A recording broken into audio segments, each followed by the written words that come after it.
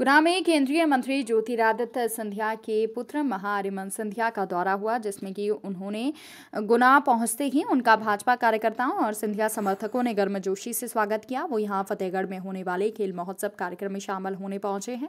महारिमन के दौरे को लेकर कहा जा रहा है कि वो सक्रिय राजनीति में प्रवेश करने वाले हैं, जिसके चलते उन्होंने इसकी शुरुआत गुना दौरे से कर दी है। उनके इस दौरे को लेकर शिवराज सरकार के मंत्री, पंचायत एवं ग्रामीण विकास विभाग के महेंद्र सिंह सिसोदिया के साथ भाजपा कार्यकर्ता एक द्वारा कार्यक्रम को सफल बनाने में लगे हुए थे जिसमें कि गुना को सजाया गया था। मैं मंदिर से बाहर आया तो मीडिया वाले मुझे पूछ रहे हैं कि आप दौरा लगा रहे हैं? क्या आप राजनीति ज्वाइन कर रहे हैं? तो मैंने कहा नहीं भैया मैं अपने लोगों से मिलने आया हूँ उनको समझने आया हूँ। मुझे यहाँ इसमें कोई लॉन्चिंग नहीं है जैसे मैंने पहले भी कहा है मैं लोगों से मिलने आया हूँ।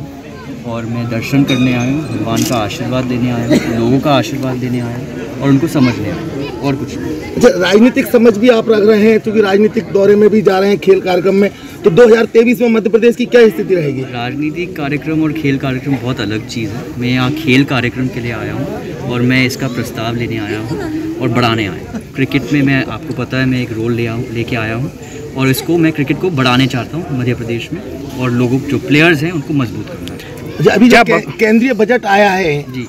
केंद्र का चूँकि आप युवा हैं तो केंद्र बजट को आप किस दृष्टि से देखते हैं? देखिए आप जैसे आपने पढ़ा है केंद्र इस इस साल का केंद्रीय बजट बहुत ही मज़बूत है। कहीं अलग अलग हिस्से पे फोकस है युवा पे फोकस है ऑन्टरप्रन्योरशिप पे फोकस है फ़िज़िकल डेफिसिट पे फोकस है आ, आप अपने इंडस्ट्रीज़ पे फोकस है। तो ये बजट काफ़ी पावरफुल बजट है और आप इसका लाभ देखेंगे अगले ती, तीन चार महीने बहुत बहुत